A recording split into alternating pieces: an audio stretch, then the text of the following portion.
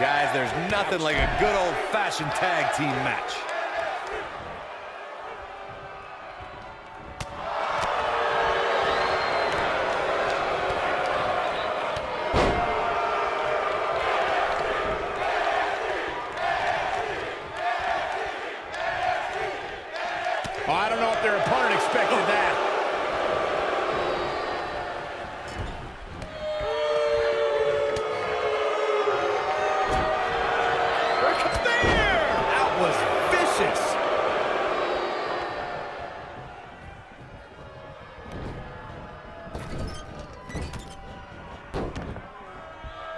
Guys, some are saying this superstar has begun showing a bit of arrogance since the latest weekly rankings were released.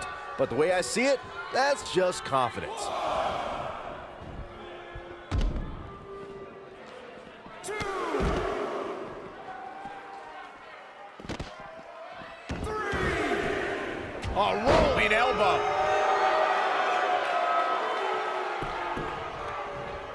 There certainly is a fine line between arrogance and confidence, as Byron was saying, but whatever it is, I have no problem with it. This superstar has been on an absolute roll as of late. And who really cares if somebody's being arrogant? As the old saying goes, if you got it, flaunt it. And this superstar certainly has it.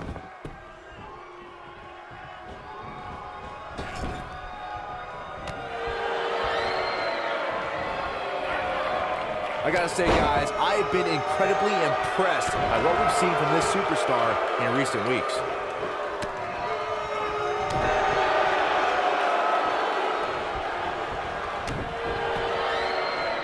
That kick had purpose.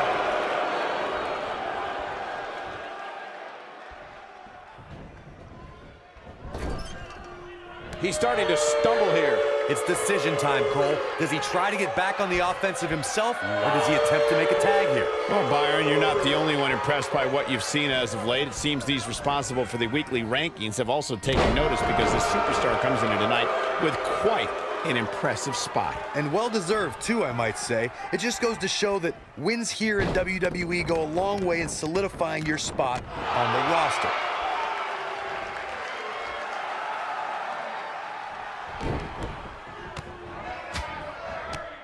Incredible striking. Seems to me, guys, like we're just moments away from seeing the finisher, which could obviously put this match on ice. Going for the arm.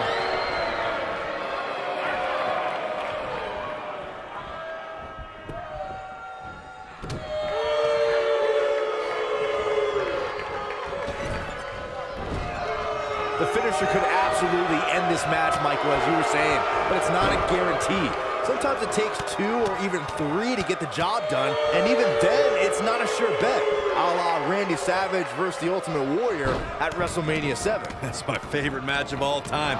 Randy Savage landed an amazing five top rope elbow drops, but was still unable to put Warrior away. And you know what? He probably could have hit him with five more. There was just no stopping the Warrior on that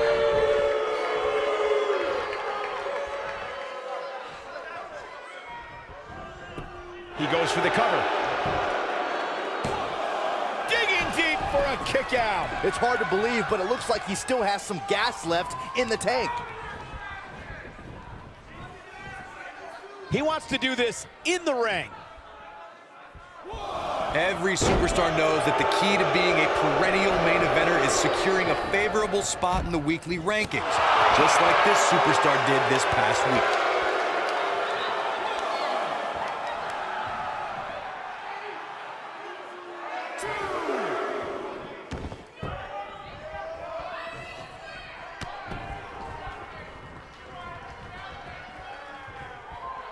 Corey's absolutely right. The weekly rankings are so very important to achieving long-term success here in the WWE.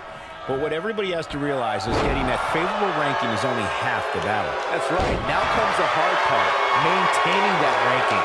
When you're ranked as high as this superstar, you can bet your back has a gigantic target on it. Angelo Dawkins, he's inflicting some serious pain here. Now it's time to capitalize. He's got him covered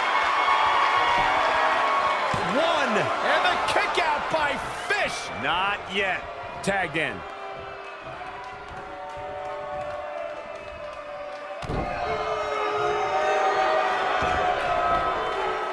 Stiff kick there. During the rivalry between the Hardy Boys and Cesaro and Sheamus over the Raw Tag Team Championship, the teams became very familiar with one another. In June of 2017, the teams met in a two out of three falls bout on Monday Night Raw. The most important fall in a two out of three falls contest is the first fall. If a team can win the first fall, that sets the tone for the rest of the match and your opponents are playing catch-up. The two out of three falls matches saw the Hardy Boys go at it with Cesaro and Sheamus was a throwback of sorts. Throughout the 1960s and 70s, championship title defenses and grudge matches often decided in the two out of three falls format. Cesaro and Sheamus didn't waste any time and scored the decisive first fall after a brogue kick rocked Jeff Hardy. Cesaro and Sheamus wanted to continue their domination of Team Extreme, but the Hardys had other ideas as Matt tied things up at one fall apiece after a twist of fate on the Swiss Cyborg. After a swanton bomb by Jeff Hardy, the match broke down and the third fall was ruled a double countout. Believe it or not, guys, this superstar wasn't overly pleased with this past week's rankings. And you know what? I tend to agree. Who's voting on this stuff anyway? And look at the quickness by Montez Ford. He's got the leg locked in now. Oh boy, he is rolling. Great job escaping, trying to turn this thing around. Oh, look, Bobby Fish is in position. Uh-oh. Oh, boy, he is rolling. Oh. Takes him down in a major way, too.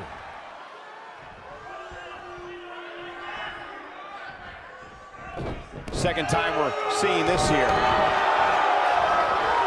Oh, man, right to the arm. Hyperextend your elbow. No, he reverses it. And look at the quickness by Montez Ford. Guys, I was in the locker room when the latest rankings were released, and I can tell you that a lot of people were shaking their heads over this superstar's ranking. He's on the defensive here. Headed into this match, he and his partner look extremely confident. It might be time for him to recharge that battery. All he has to do is get to his corner and make the tag. Well, he had to expect to take some punishment here, right? I mean, it'd be crazy for him to think he was going to walk away from this match completely unscathed. He fights his way free. But how much energy did he exhaust fighting his way out? I don't know why anybody would be shaking their head over this superstar's ranking, Corey. It's been one impressive performance after another. If you ask me, it's well-deserved. I completely agree, Michael. I wouldn't put too much stock in what Corey was saying anyway. He tends to hang with a pretty cynical crowd these days.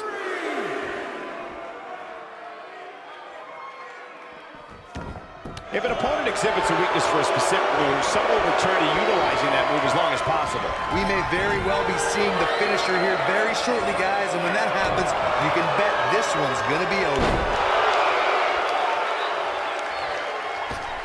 And look at hung up on the second. Trying to exhaust every bit of air from the lungs here.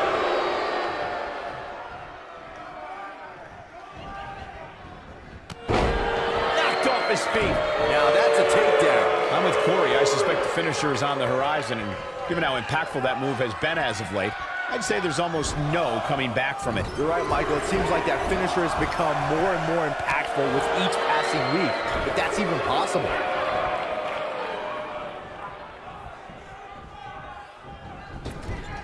Tagged in.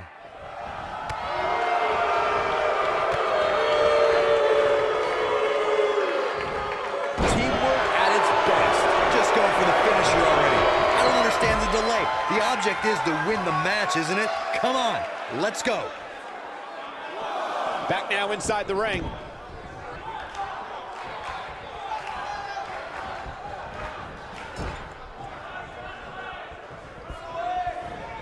A lot of pride on the line here in this tag team encounter, but only two of these competitors will end up getting what they came for, the win. As Corey continues to criticize the athlete. Angelo Dawkins, this is all but over.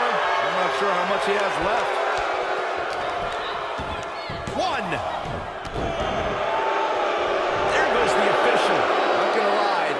Hurt.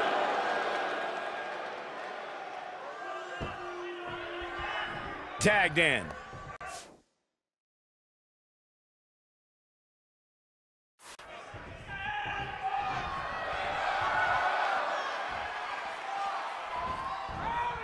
A high-risk maneuver in the works from that top turnbuckle. And here's Montez Ford.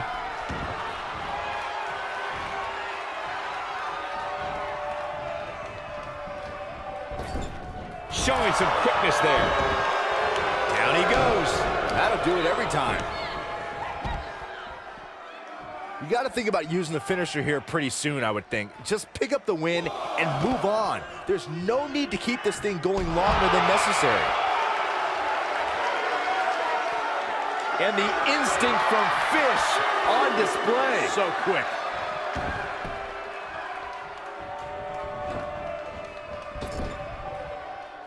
Oh, look, Bobby Fish is in position. Uh-oh. Good point by Byron earlier. If there's an open... And O'Reilly makes him pay in the worst way. What a shot. I knew it was only a matter of time.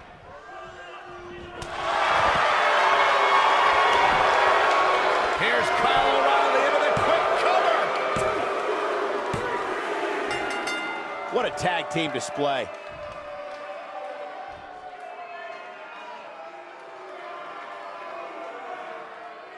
Well, that was a tough loss. A real difficult loss for that young man. And he's got to feel bad about this, Corey. He worked hard. He worked hard, but he came up short. It's an unfortunate situation. But his partner doesn't look too pleased. No, not at all. I mean, come on, like that guy hasn't lost before? Please.